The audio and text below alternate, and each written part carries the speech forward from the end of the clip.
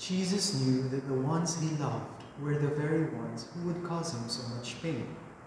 So, what's the point of continuing to love them? Ano na?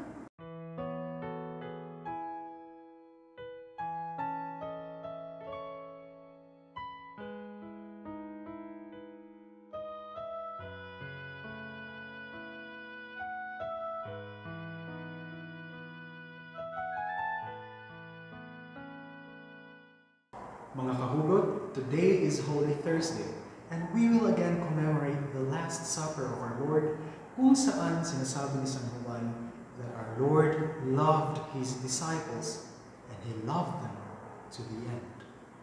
Jesus loved them to the end. Ang ginamit na salita ni San Juan ay may dalawang kahulugan. Una, na minahal niya sila hanggang sa pinakahuling sandali ng kanyang buhay, at na minahal niya sila ng buong buo, ng walang kondisyon.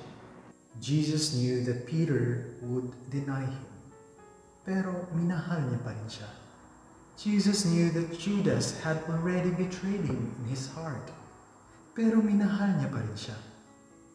Jesus knew that many of his disciples would flee right when he needed them most, pero minahal niya pa rin sila. Isang araw, ginising ako ng iyak ng aking ina. Tinanong niya ako kung masama ba raw siyang tao, kung masama ba raw siyang ina. Pero she's the most loving person I knew. Sinaktan na siya ang kanyang mga kaibigan, nasaktan na rin namin siya ang kanyang mga anak, and yet, hindi siya kailanman tumigil sa pagmamahal. Ilang beses na nga ba natin nasaktan ang ating mga magulang, pero mulit-muli tayo ay kanilang minamahal.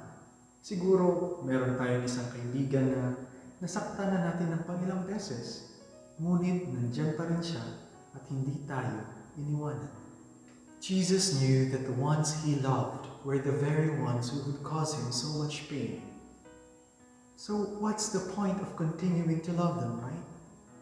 Pero, ipinakita sa atin ni Lord at ng mga magulang natin at mga kaibigan na rin natin na ang tunay na pagmamahal ay hindi kailanman nakadepende on whether or not the beloved is worthy of it. Love simply loves. Sa ating relasyon sa Panginoon, it is no longer a question whether God loves us or not. He loves us.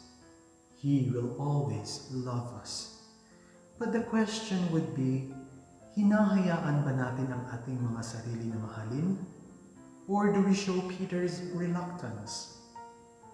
Hinahayaan ba natin na ang pagmamahal ni Lord ay baguhin ang ating mga puso?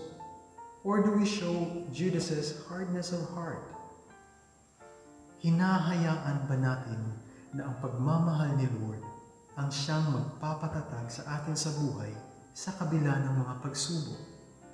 Or do we run in fear like the disciples?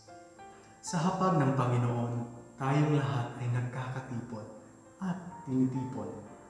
Sa uwi, panalo, sugatan, masaya, depressed, nalilito, at kung sino-sino pa. Pero tayong lahat ay minamahal niya.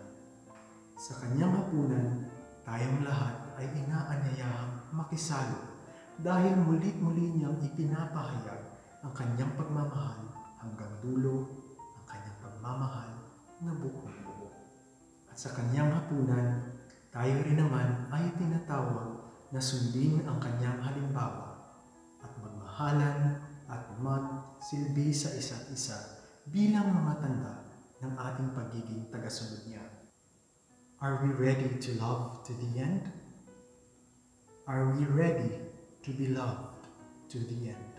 Isang mapagpalang Webes Santo po sa ating lahat. Ito po si Brother Mike at ito po ang Hugot ni Lord Holy Week Specials. God bless us po.